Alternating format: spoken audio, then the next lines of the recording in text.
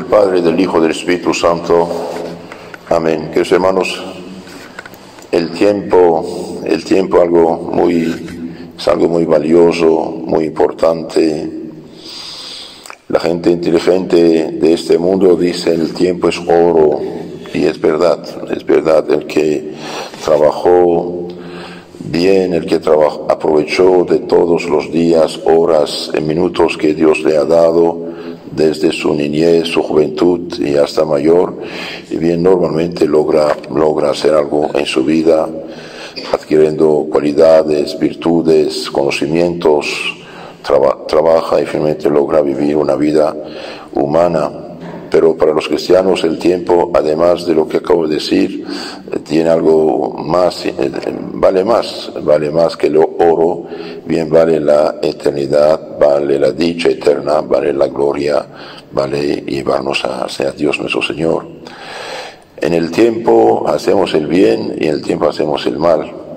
En el tiempo adquirimos las virtudes, esta manera de actuar fácilmente, hacer el bien, tendencia del alma, disposición del alma a hacer el bien fácilmente, y en el tiempo se adquieren también los vicios, los vicios, los pecados. El tiempo Dios nos, nos lo da para qué? Y bien no para perderlo, no para perderlo. Hay gente y no saben qué hacer con su tiempo, están aburridos. Ah, no pasa y el tiempo no, pasa y todavía el tiempo es algo muy importante. ¿eh? algo muy importante es en el tiempo, todos los que están en la eternidad, todos los seres humanos que están en la eternidad, en el tiempo, se ganaron la eternidad.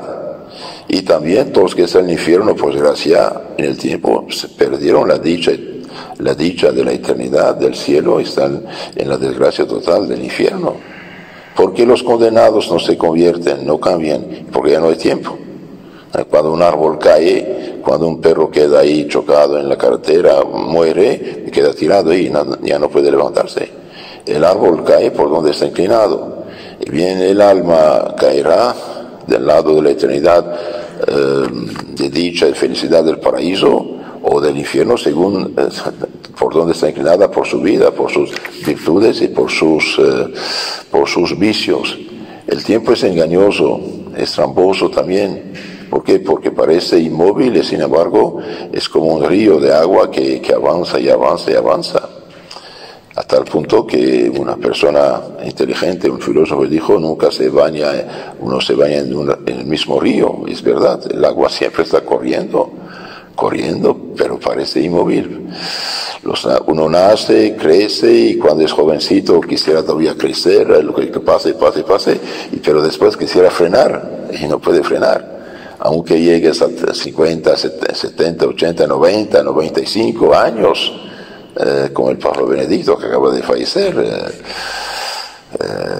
95 eh, eh, años, bueno, pasa él también nació, creció, hizo sus estudios, hizo, hizo sus diplomas, eh, fue profesor, fue sacerdote, fue teólogo, fue consejero, fue cardenal, fue papa y pues, finalmente tuvo que renunciar y prepararse.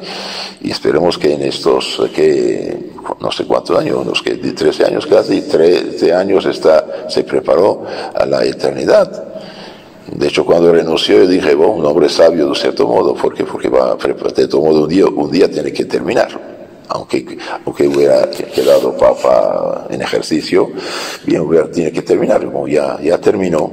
Pues decía el tiempo, el tiempo tenemos que aprovecharlo. ¿Y cómo aprovecharlo? Teniendo un programa de vida, teniendo un horario, teniendo una disciplina.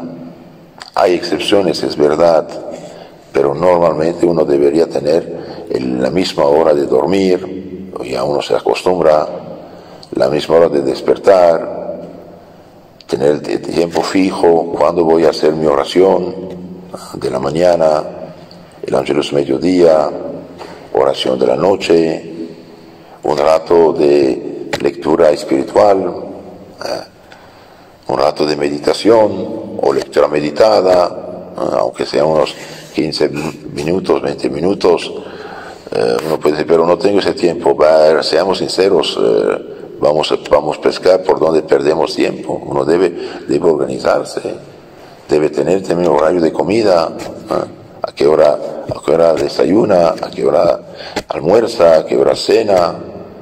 Cuando hay, hay organización del tiempo, uno puede hacer muchas cosas. Alguien dijo, nunca pedir un favor a una persona que no tiene nada que hacer. ¿Y, por qué? Pues si, si, no hay nada que hacer, tiene mucho tiempo. No, no tiene tiempo para hacer lo que se pide. Lo pierde. Hace falta, hace falta organizarse.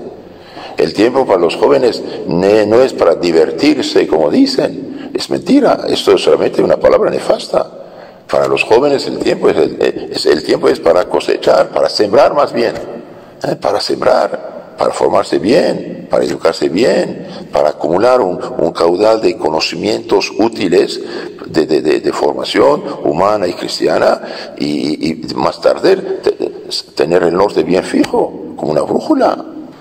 El tiempo para los jóvenes no es, no es para perderlo, no, es para aprovecharlo al máximo.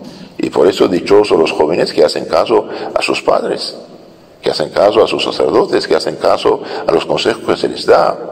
Precisamente muchos fracasan por no, por no hacer caso, por seguir unos pobrecitos ignorantes que no tienen nada en la cabeza, pero que, que influyen sobre ellos en el mal. El tiempo que los hermanos no es para pasar horas y horas en las redes sociales, películas, series, telenovelas. No, no, eso es, tóxico, tóxico. Puede haber películas buenas, con valores, con virtudes, con ejemplos, pero hoy no es ese el caso para, para la mayoría de lo que se produce, al contrario, todo impulsa, por desgracia, a más bien al, al mal ejemplo, algo negativo. Y como cristianos tenemos que tomar las cosas en, en, serio. No acostumbre a los niños a pasar su tiempo delante de la, pantalla. Eh, hoy mira caricaturas para niños, pero incluso caricaturas para niños hoy están, están intoxicadas. Los desvían, los enseñan lo que no se puede, lo que debe, lo ve, hasta lo que es antinatural el niño de enseñarle las cosas, dije, de, valores, de, cosas clásicas que, quedan y que sirven para, para toda la vida. Si un niño, usted le cuenta a un niño unas historias, unas fábulas, unos cuentitos que tienen valores, una vida de, santos, de, héroes eh, cristianos, humanos, viene, agarrará, em, amor al, papel, a ah, esto me interesa, esto me gusta pero si es siempre la pantalla, pues, por detrás de la pantalla hoy contiene todo, es como una fuente del, del cual puede sacar cosas buenas y puede sacar cosas pésimas. Y aunque uno lo quiera, las cosas pésimas llegan. Llegan debido que, por desgracia y por la descristianización de la sociedad, la, la mayoría de la gente hoy está inclinada más bien a lo negativo, a lo malo, a lo, a lo de, a que conduce, digamos, eh, a, que gusta a, los sentidos, a las pasiones y fomentan todos los vicios mediante esas cosas. Entonces, utilicemos bien, bien el tiempo, utilicemos bien el tiempo, eh, tener un horario, sí, en la familia, en la medida posible, claro, dije excepciones, pero normalmente cuando hay un, horario, cuando hay una disciplina y cuando uno ya eh, quiera o no quiera este tiempo de hacer tal tal, cosa, lo hace, y bien adquiere eh, fortaleza en su voluntad se autodisciplina y los padres y madres familia en eso tienen, tienen responsabilidad. Eh, por ejemplo, un día la cena, no sé, está lista a las seis, otro día a las ocho, otro a las nueve y media, otro día a las siete y media. Eso es un desorden. Hace falta algo fijo. Algo fijo y es disciplinar los niños para que más tarde es ellos, cuando Dios eh, quiera, serán padres y madres de familia también responsables de, de seres humanos, tengan esta, esta disciplina. Entonces el tiempo es para sembrar, dije, para los jóvenes y también para los mayores. Eh, los mayores tenemos que hacer penitencia de nuestra vida pasada, nuestros pecados, fallas, faltas, eh, errores, y especialmente examinarnos sobre un pecado muy peligroso, eh, muy peligroso. Desde años yo estoy pensando en este pecado que nadie, que nadie sospecha, el pecado de omisión cuando son pecados de acción, lo hicimos, eh, obra o acción, alguno lo hizo. Cuando son de palabras, uno se acuerda que dijo cosas que no debía, sea de mentiras, sea exageraciones, sea murmuraciones, sea críticas, eh, pecado de, deseo, ahí también uno siente también si consentí, no consentí lo que era malo, venganzas, impurezas, maldades, etc.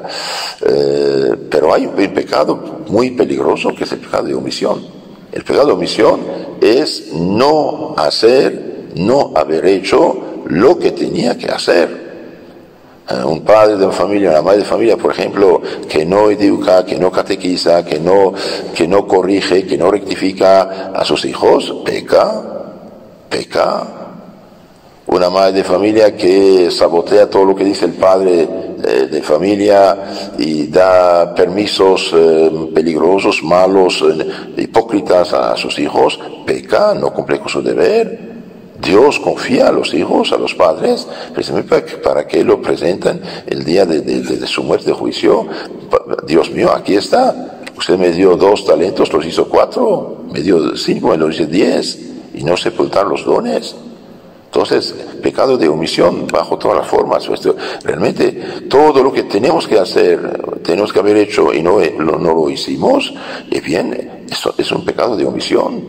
Puede ser ligero, puede ser grave, puede ser gravísimo, depende. Eh, por ejemplo, un padre de familia, una madre de familia que sabe que sus hijos pecan, están desviados, hacen tonteras, hacen lo que no deben y no dice nada, cierra los ojos como si fueran santitos, bien, es gravísimo esto. Eso es gravísimo, igual para los sacerdotes igual para el Papa, igual para los, los, eh, los obispos.